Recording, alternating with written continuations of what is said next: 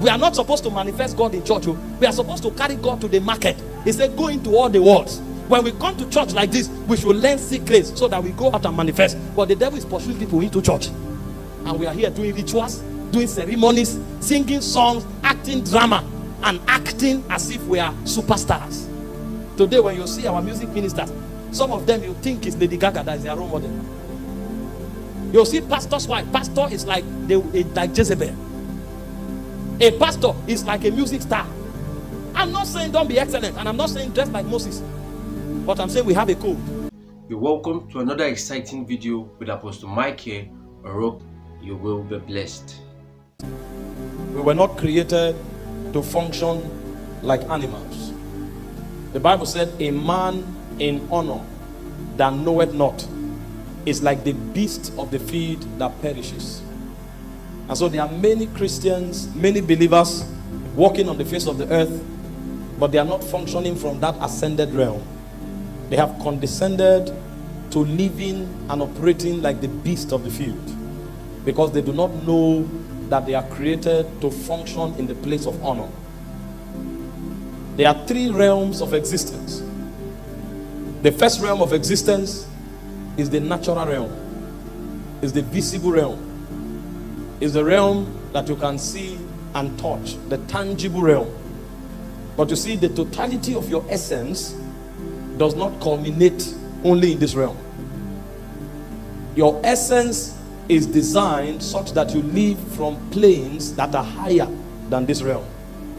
You are only designed to manifest in this realm. But what defines your essence are in realms superior to the natural realm. The natural realm is the realm of feelings, is the realm you interact with with your body. But your life involves much more than what you feel and what you touch. There is a higher realm than the natural realm called the preternatural realm. That's the soulish realm. Is the cognitive realm. Is the realm of reason. You see, there are many people today that lead others because they have tapped into the powers of the soulish realm. And so some of them are inventors because they have explored the possibility of the soulish realm. They have invented things, and on the strength of that, they control the mindset and the ideology of society. For example, there's a young man called Mark Zuckerberg who was able to solve part of the communication problem of humankind. And so, on account of his access to possibilities in the soulish realm, he designed a system called the Facebook. And all of us seated here, if not all, maybe most of us, on a daily basis, we go into Facebook to draw inspiration. And most of us, the things we see and hear from that platform is what determines our lives.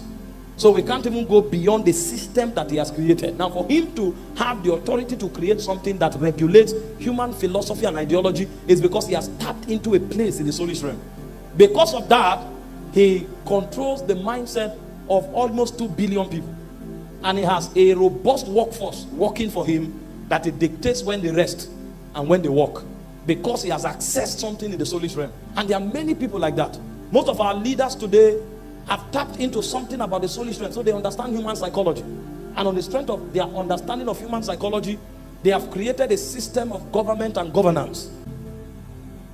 That's why before a child even develops the soulish mind, the devil is already attacking that child with corruption. Most children are sick from five days old. And before they are three years old, they have operated upon them. So it will be impossible for them to ever imagine that you can walk on earth and not be sick. Because the devil has already attacked the consciousness with the circumstances they've gone through. It will have to take a process of renewal by the spirit and the word for them to ever come to a point of number one, believing that healing is a possibility, and number two, believing that divine health is a reality. So when you tell such a child that you can live without drugs, that child will tell you it's impossible. And I'm not saying if you are sick, don't take drugs. You grow in these things. I'm only saying that there is a place in God where we can get to because our standard is Jesus. And when Jesus walked on earth, there was no time when he went to a herbalist and said, Please uh, mix uh, this uh, green leaf for me, let me drink. There was no time where he went to a physician and said, Kai, my back, help me, help me. There was never a time like that. That means that reality is in God. And we must function there. But you see, the reason it's impossible for you and I to think it is because even before we were five years old, we knew the walls of the hospital. And malaria had trained us too well before we met Bible. They are the elements of this world. Before you ever knew to call Jesus, most of you knew how to insult people. Anger was already erupting on your inside. And you, you, you can destroy, even before you know the price of buying a pencil. You can break a glass out of anger because the external realities have educated you and given you a consciousness. Because Paul was the one who showed us the chronicle. Go to Colossians chapter 1, verse 15. You will see when Paul began to rank it. You will now know what God gave us. God didn't just give us a, a scepter to exercise government.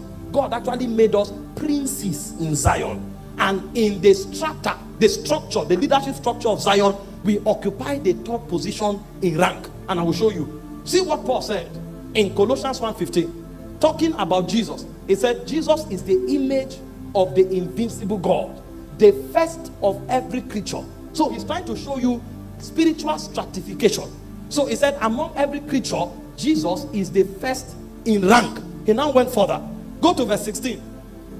He said, For by him were all things created that are in heaven and that are on earth, visible and invisible. So he's trying to show you that although Jesus, as a man, associates with creation, but he's also outside creation. He created creation, but he also participates in creation. So he said, in participating in creation, he is the first in rank. He now went further. He now began to show you the other ranks that are there. So he said, it's first among visible and invisible. He now said, whether they be thrones. So when you finish with the Christ, the next level of authority you get to are thrones. He now went to the second level, or dominions. He now went to the third level, or principalities. He went to the fourth level, or powers, and all things that were created. Are you seeing that? So in the realm of God, when you are made a dominion, is a place where you stand.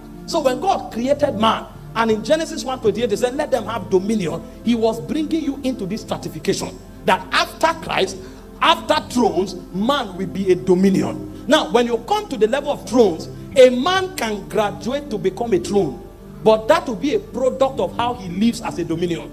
So, a throne is not where you are created into. A throne is a reward that is given to you based on your service as a dominion. This is why Jesus was speaking to his disciples. He said, At the end of time, he said, You will sit with me on 12 thrones, judging the 12 tribes of Israel. So men are also thrones, but you have to graduate as a dominion to become a throne. Now, while you are yet on earth and you have not finished your race, you cannot become a throne. But right now, you are still a prince because you operate at the level of a dominion. The question is, what is the operation of this structure?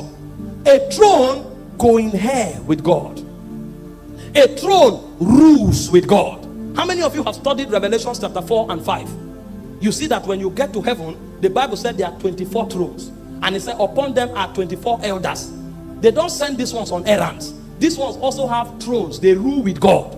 That's why Jesus said, You will sit with me to judge the 12 tribes. So thrones are called to have rulership, fellowship with God. But a dominion is a different kind of prince.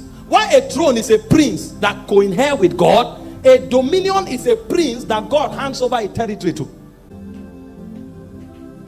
Dominion. That's why when a common person is going to fornicate, ah, because a boy looked at her and said, You are beautiful. And the next thing she has pulled off her clothes. Not me. I'm royalty.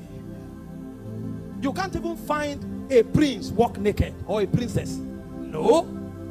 Go to nations that have monarchy system. Princesses wear gloves. You can't see their hands. And if you shake them, it's an honor. But you find a generation where people don't know that they are noble. And they are naked. Everybody sees them naked as though they are commoners. Not a prince.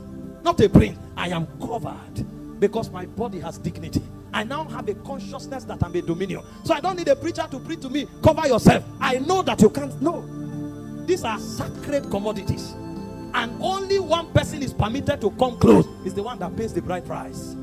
You can't find me in the market. People are gambling and shouting, Hey, now this one go win, now that one, and you are there shouting. You remove your shirt, put it on your neck. My brother, you know easy. Wow. No, not me. When you want to fight, it's okay. We let you be. Princes don't. They, we don't banter wars. We don't condescend to the level of pulling our shirt and fighting. Today, not today. Me? No. Jesus said, if they slap you, turn the other cheek. If they ask you for a, shirt, give them your jacket. If they say, come in mine, add another one. Don't fight with them. You are above that level. This is why we operate the way we operate. We have consciousness of nobility. Even in this democratic era, how many times do you see your president? The convoy is driving and it stops by the road. Say, I want to ease myself. Convoys don't stop. You ease yourself before you leave or you get to your destination. It's nobility. There is a code that rules us. We operate as creatures of honor. And so there's a way we carry ourselves, not in pride, but in understanding that there's a stake on our lives. We represent God, we represent the government of heaven. So we cannot allow the civilization of this world corrupt us. It's on the strength of that nobility. They tell you somebody is dying. You say, Where is he? You know you carry something.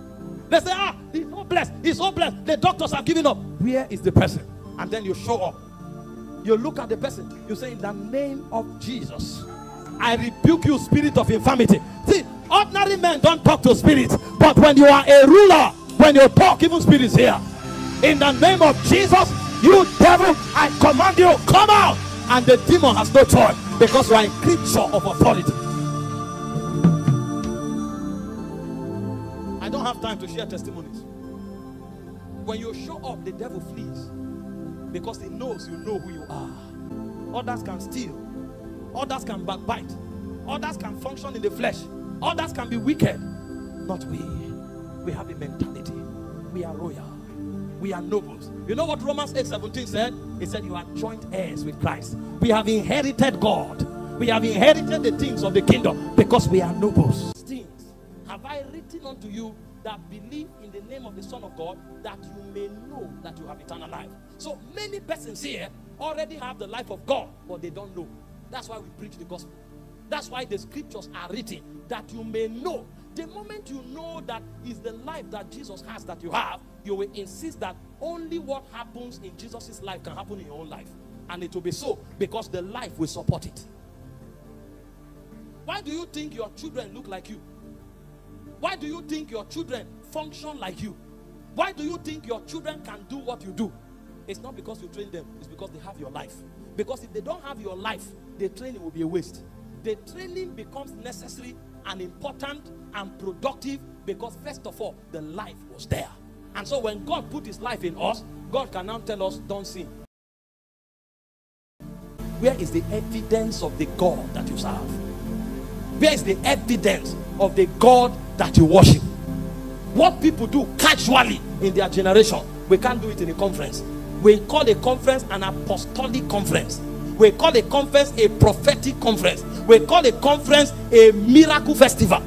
Yet, even deaf ears don't open. With all, you will see 25 apostles, 33 prophets.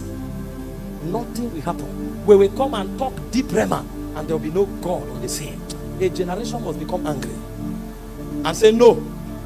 Jesus said, The works that I do, He said, You shall do also, and greater works than this shall you do. When He said, This sign shall follow them, He didn't say it's prophets. That means our senators should heal the sick, our senators should prophesy. That means our businessmen should have prophecy. So that before they enter a business, they pick it from heaven and say, No, this business will fail in three months. And it's natural because of the realm where they are operating from. This is what Christianity is about. But we have reduced Christianity to a set of doctrines and religious practices. And so there is a need for the higher life.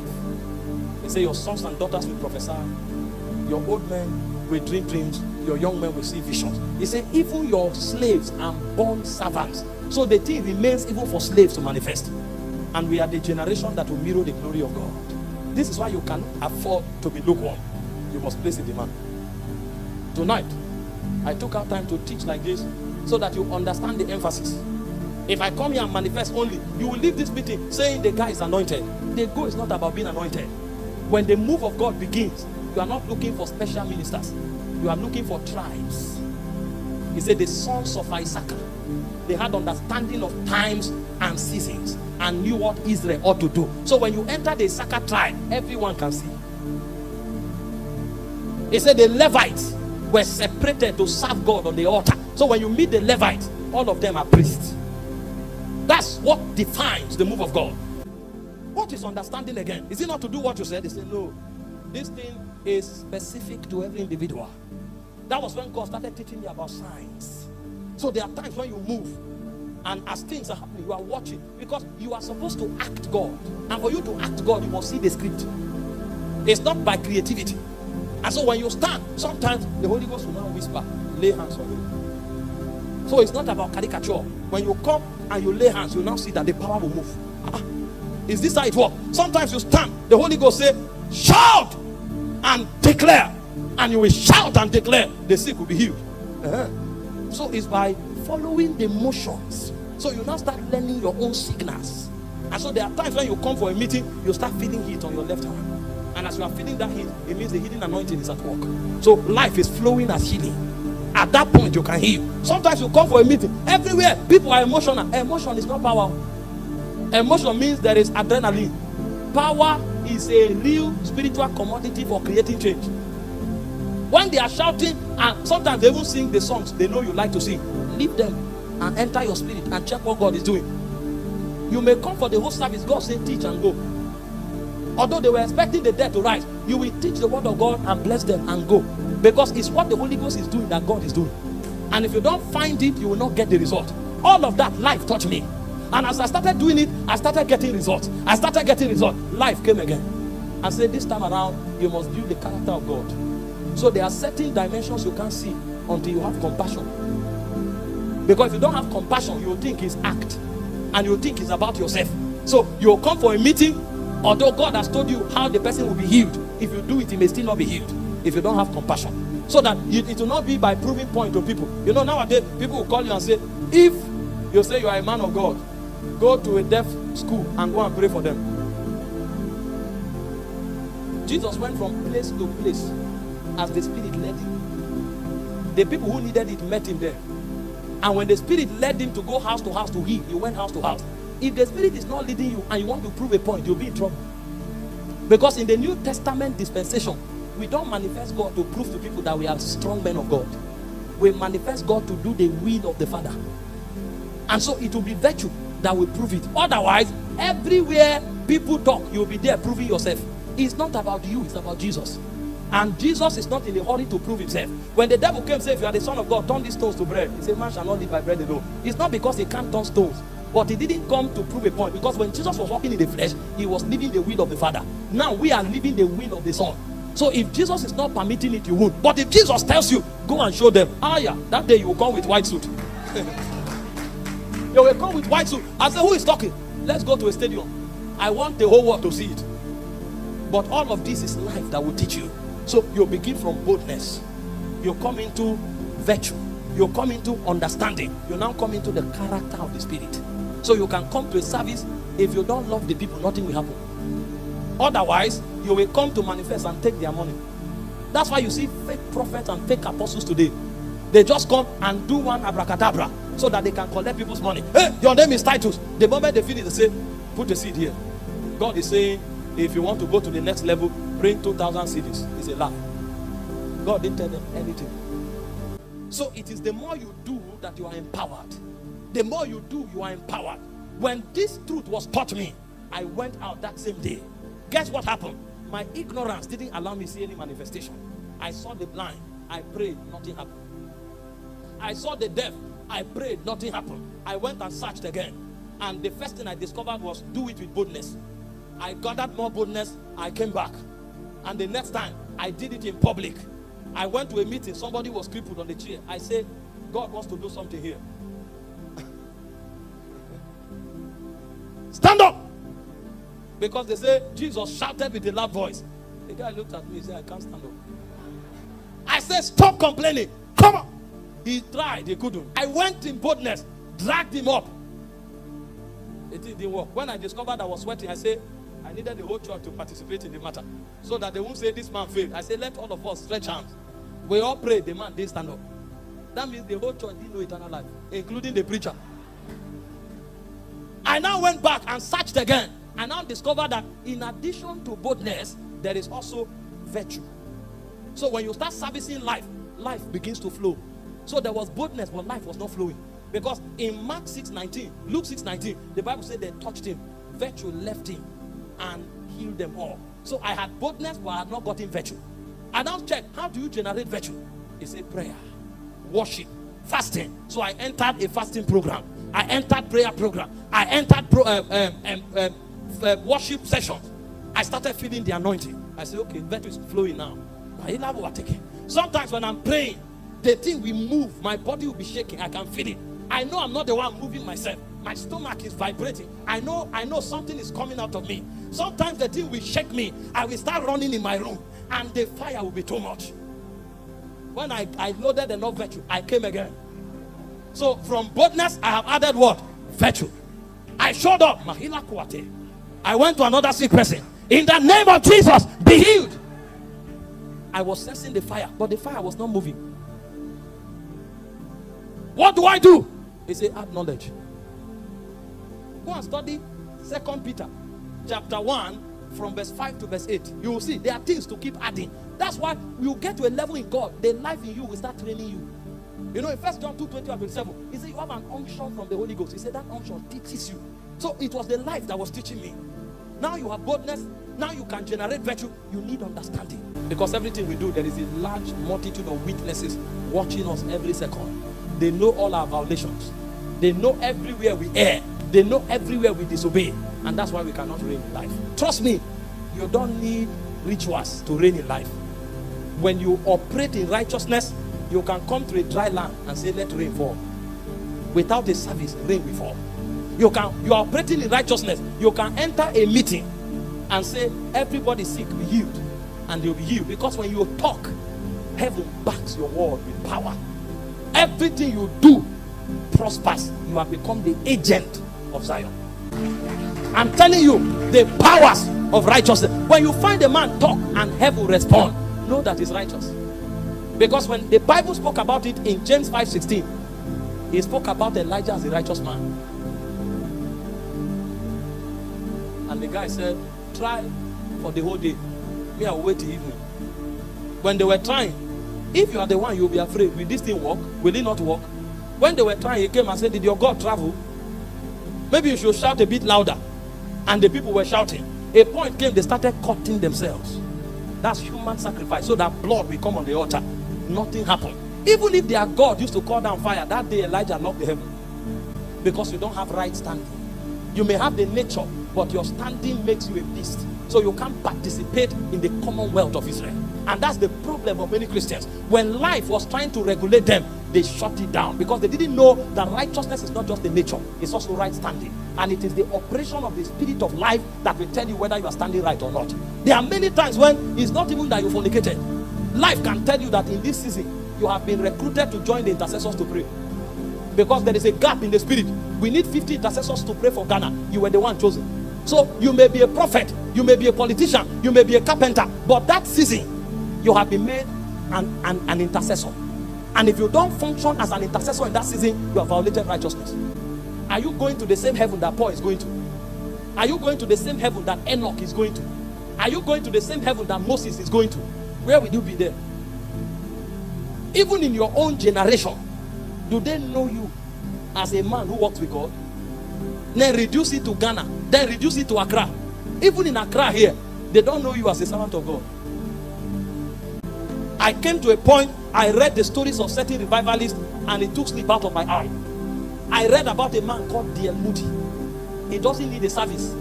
If D.L. Moody enters a shop where people are eating, maybe he came to eat, people start going under the anointing. No prayer, no preaching. He carries so much of heaven. They said there was a time when he was traveling by a train, and the train stopped in the city. And because he was present there, people started falling under the anointing. And they know him for it. Somebody now said, What is happening? Another man stood up and said, These kinds of things only happen when the mood is around. And not so long before the plane took off, they now found him sitting in that train, just reading. But as he was reading, he was generating energy that was affecting the environment. This is not somebody woke up in the night and say, Every week flying over this house die. No, I'm talking about emitting radiations of the spirit that you serve. Did you read the life of Samuel? When Saul came to arrest David in Nayot Ramah, Samuel didn't say anything. All the soldiers that came began to prophesy. Another batch of soldiers came, they began to prophesy. Until Saul stood up and said, Look at these weak people. I will go and do it myself. When Saul came, he prophesied until he became naked. And he prophesied from night till morning. Samuel didn't even know he was around. But the radar that Samuel created already arrested Nayot Ramah. A man can sit somewhere, he's reading Bible with hunger. I, I read about a man. He went to a, a, a wilderness. That's where he studies and prays. And he sat there on a certain day. He was reading and praying. And he was generating so much of the life of God until grass began to grow there. And grass, in a few hours, grass grew until the grass began to grow taller than him. That was when he discovered that ah, he was beginning to turn this wilderness to a fruitful field. So it's not a figurative thing, they are dimensions. These are dangerous things men have done in God. I watched some of the clip of Jack Coe. Somebody has cancer and they bring the person to the altar. And you know, in their era, there are critics and journalists sitting. In fact, sometimes they pay sick people and bring them to church so that they are not healed to discredit the healing ministers. And they brought Jack, they brought a cancer patient to the altar. Today we will see what this man is claiming is true. You know that kind of situation is not about keyboard. You must have it. And Jack Coe called the guy up, cancer on the face, and he hold he held the cancer in the name of Jesus. Before he finished the prayer, cancer pulled out, fresh skin appeared. Even the critics gave their hearts to Christ. I read about Marrion Branham. They went and paid somebody because they said, if you come to Marrion Branham service, they will say, You sitting on the third row there, you have cancer or somewhere, come and you'll be healed instantly. They now say this is fake, that is arranging. They now went and brought somebody who didn't have cancer, and the person came out claiming that he has cancer. And when Marrion Branham wanted to pray for him, he said, No, but you don't have cancer. They don't told you you don't have cancer. The person insisted. The Holy Ghost now told him he came to discredit him. So since you say you have cancer, go with it. So they don't just take it, they can put it there. Go with it. These are things that men did. Wigglesworth was praying for somebody in a service. Usually, when he enters service, people will line up in front because the way he starts his meeting before preaching, the first person that gets to the altar will be healed of whatsoever. Imagine the audacity. Atmosphere is not yet charged. You have not preached, faith have not risen in people. Whoever comes here first will be healed. So people will run to the altar. And they brought a man who had cancer. Stomach was swollen up. He punched the stomach. The guy fell like a dead man. People shouted, Hey, carry him up. He punched him the second time. The guy fainted. When he said, Carry him up again, somebody shouted in the congregation, You son of the devil, leave that man alone. Do you want to kill him? you know, there's a time when the thing becomes too much. People have to call quarrel pastor. And Smith Wigglesworth looked at him and said, Shut up, mind your business. This is my business, I know my business. And he punched the person the third time. Cancer fell off. And the guy started running.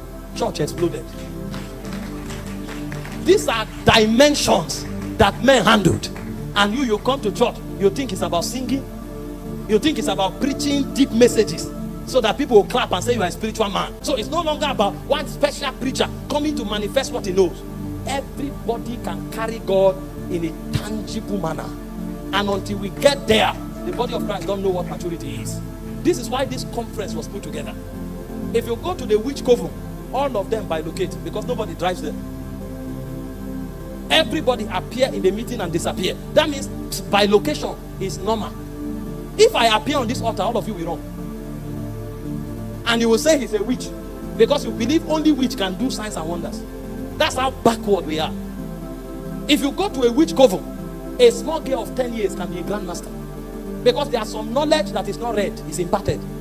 So they can carry that small girl into a coven and she'll be there for seven days. If she comes out, she can fly, she can kill, she can cause rain to fall, she can stop a, a, a pastor. In fact, sometimes you see one girl, 17 years, she says she has closed down 200 churches. And you are wondering, well, how? Because she walks in an experiential power.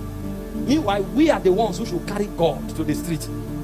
We are not supposed to manifest God in church. oh. We are supposed to carry God to the market. He said, Go into all the worlds. When we come to church like this, we should learn secrets so that we go out and manifest. But the devil is pursuing people into church. And we are here doing rituals, doing ceremonies, singing songs, acting drama, and acting as if we are superstars.